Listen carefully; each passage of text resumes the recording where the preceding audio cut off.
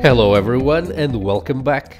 In this lesson we are going to present the Angular ngFor core directive. As we have seen on the previous lesson, we have here several course cards displayed and we have here a certain level of repetition in the template. We have these three tags here and we are adding here, for example, the exact same custom event handler. It would be much better to simply loop through a list of courses and apply only one course tag in our template, especially because our data is already available in an array. This would also simplify here our application component. So let's start refactoring this and use the ngFor directive for presenting our list of courses. The first thing that we are going to do is we are going to make the courses array available here. We are going to make available to the template not only these free courses, but we are actually going to present the complete list of courses. So imagine what it would be if here we would have somewhere between uh, 7 and 10 courses here in this template. It would be very repetitive. Let's then continue to refactor here our component. We have added here a variable called courses, which contains the complete courses list, and we can now go ahead and remove these three variables that we were using here. So we are no longer going to refer to the courses one by one with separate member variables. Instead, what we're going to do is we are going to use the Angular ngFor structural directive in order to loop through the list of courses. And here is the syntax for ngFor.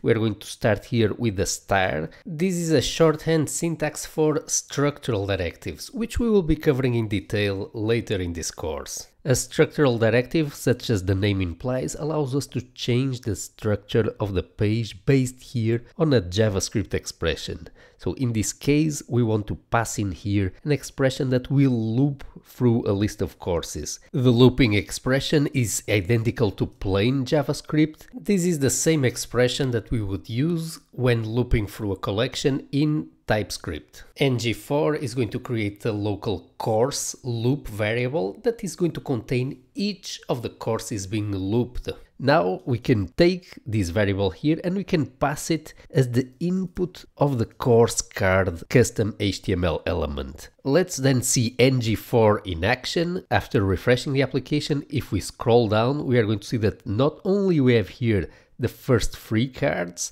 but notice here, there are more cards available. So all the elements of the courses array are being displayed on the screen. So we have here a directive that allows us to generate new components by looping through a data array available at the level of our component. If we click into the courses array available on the DB data file, so this is just some test data that we are using to build our program, we are going to see that indeed all the courses in this file are being displayed here on the screen. Besides the core iteration functionality, ngFor also comes with some additional features. Let's start with the first auxiliary feature, which is going to be the index feature. So let's say that we want to add here a number to the course. We would like to number the courses from 1 up until the last sequential number of the course.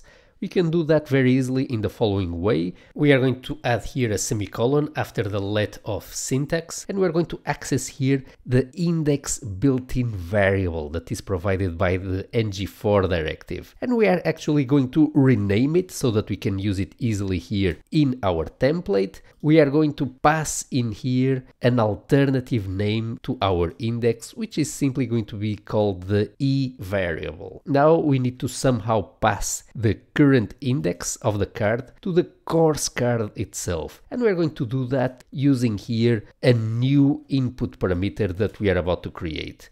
We are going to call this index parameter card index and we're going to pass it the value e plus 1 because e is 0 based. e starts at 0, 1, 2, etc. So we are adding here plus 1. If we move here into the card, we are going to create here another input we are going to call it card index like we did in the previous template and we're going to declare it as being of type number. Next we are going to go here to our template and just before here the course description we are going to add here the card index, we are going to append here a space, and we are going to concatenate here the course description. If we reload this, we are going to see that indeed we have here the numerical value 1, 2, 3, etc all the way up until 10. ngFor also provides us a couple of extra features, so not only we have here access to the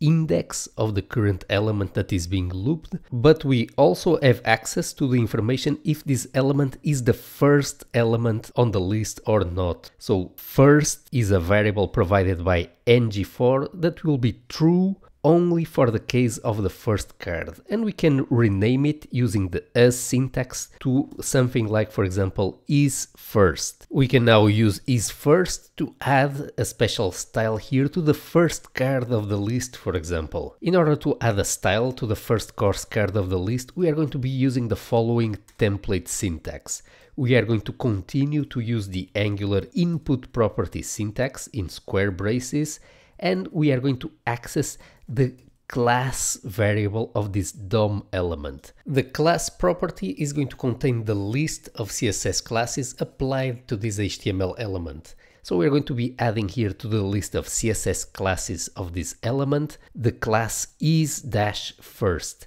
This is a CSS class that is going to add here a top border only to the first card of the list. The class is available here under the source assets folder. We have here a styles.css file.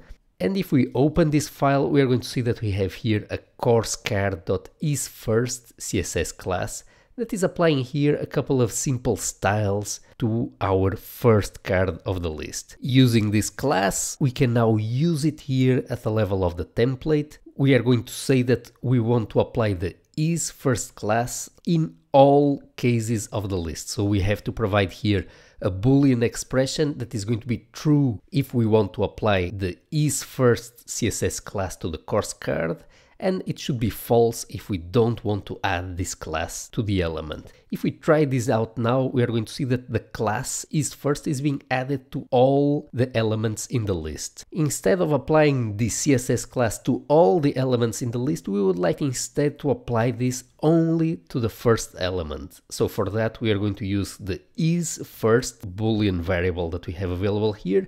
And now this top border is only visible for the first card in the list. In a very similar way to the first variable, we also have access to a last boolean variable. And this variable works in a very similar way to is first. So let's apply here a class called isLast and this class will only be applied to the last element of our list. So it's very similar to the CSS that we have here, but we are applying a bottom border this time around. So if we try this out, we can see that is first is still being applied here.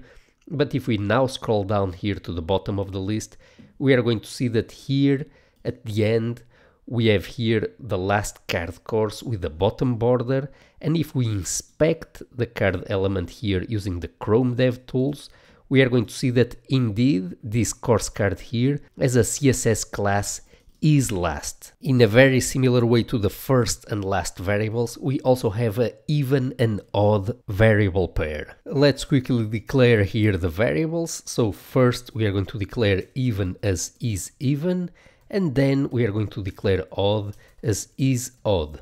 Now we have these two variables available and we can apply them here to our template in a very similar way. So we have a CSS class is even that is only going to be applied if the is even variable is set to true and the equivalent is going to be done for the CSS is odd that is only going to be applied to an element if the element is odd. So these two classes is even and is odd are simply going to apply a different color background to each of the cards. Let's have a look at the CSS classes in action.